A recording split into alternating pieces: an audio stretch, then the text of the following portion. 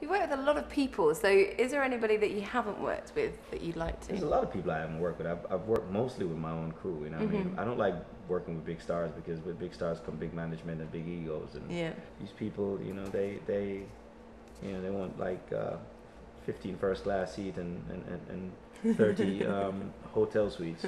I have a crush on Whoopi Goldberg. man. Really? Serious. Yeah. I've, you know, I've, I've fantasized about them dreadlocks for a while. you know. nice set of dreadlocks. Oh, I mean, I'm serious. Just you know, just